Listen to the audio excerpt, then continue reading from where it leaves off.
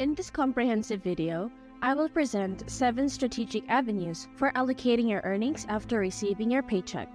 While many individuals often get stuck after just the second step, embracing and implementing all 7 of these distinct approaches can significantly enhance your financial standing.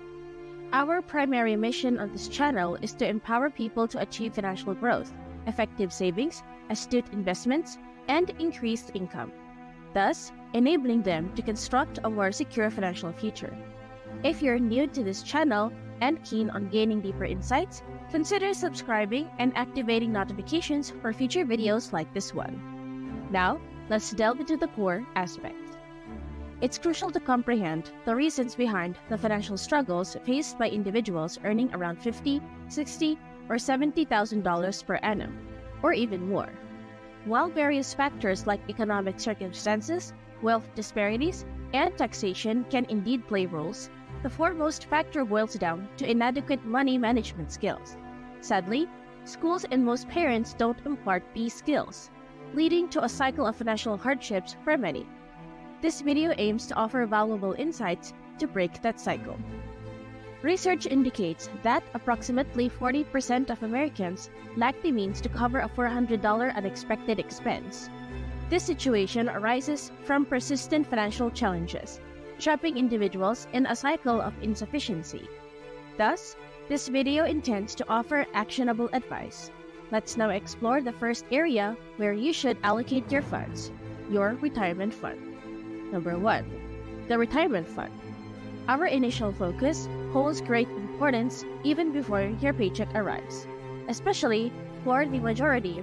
Utilizing tools like 401k plan provided by your employer offers a strategic way to save for the future. By setting aside a percentage of your income before it reaches your hands, you're securing a better financial outlook. It's worth noting that every investment carries risk, so personalized financial decisions are vital. However, many young professionals opt out of such retirement plans, ultimately impairing their financial stability. Transitioning to step 2, we shift our attention to your checking account. This account serves as a central hub for managing your finances. While a majority hold at this point, it's crucial to understand that your financial journey goes further.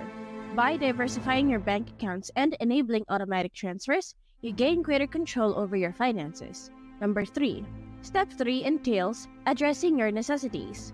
This involves the essentials required to sustain life housing, sustenance, transportation, healthcare, and utilities. Distinguishing between needs and wants becomes pivotal here. Prioritize paying off minimum dues on your debts, safeguarding your credit score. Number 4. Next up, we explore step 4 the emergency fund.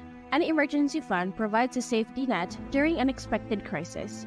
Begin with a modest amount and gradually build it to counter financial emergencies without resorting to debt. Number 5. Step 5 pertains to paying off debt. Utilize strategies like the debt snowball or avalanche method to systematically eliminate debt, taking into account interest rates and balances. Confronting and addressing debt alleviates financial stress. Number 6. In step 6, consider saving for payroll. Accumulating 4 to 8 months worth of income safeguards against unforeseen hardships offering peace of mind. Opt for instruments that outpace inflation and remain easily accessible. Number 7. The final step, step 7, emphasizes investing. This phase leverages your money's potential to grow by engaging in real estate, stocks, bonds, and more. While investing carries risks, it offers a pathway towards financial growth and security.